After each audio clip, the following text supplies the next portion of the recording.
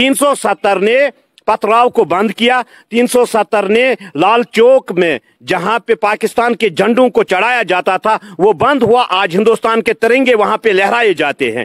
अगर आपने देखा होगा, यहाँ हर वक्त माहौल खराब रहता था। 370 के बाद ये सचमुच ठीक रहा। वज़ीर आज़म हिंद नरेंद्र मोदी जी जैसा वज़ीर आज़म न ज़िंदगी में मिलेगा, न हिंदुस्तान को ऐसा ऐसा सपूत इंसान मिलेगा। मैं उस माँ को सलाम करता हूँ, जिसने ऐसे सपूत को जन्म दिया है और इन गरीबों का मसीहा बनकर आया। पूरे वर्ल्ड में हिंदुस्तान नंबर एक पे है। अगर आप पाकिस्तान को देखोगे, पाकिस्तान आज ज़ीरो पे है। आज वहाँ के लोग ये सोचते हैं कि वज़ीर आज़म हिंद, नरेंद्र मोदी जी जैसा वज़ीर आज़म हमें मिले, मैं आपको एक कश्मीरी होने के नाते ये बताऊँगा, जिस कश्मीर में हर वक्त छह मंथ के लिए बंद होता था, इंटरनेट बंद होता था, उस कश्मीर को चेंज करना ये वज़ीर अजम हिंद नरेंद्र ने वापस लाया।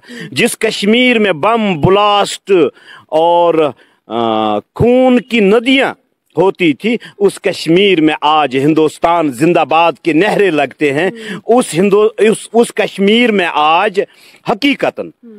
उस कश्मीर में आज लोगों को ये पता चला है कि हम किसी मुल्क के साथ जुड़े हुए हैं और यहाँ का युवा आगे बढ़ने की कोशिश कर रहा है।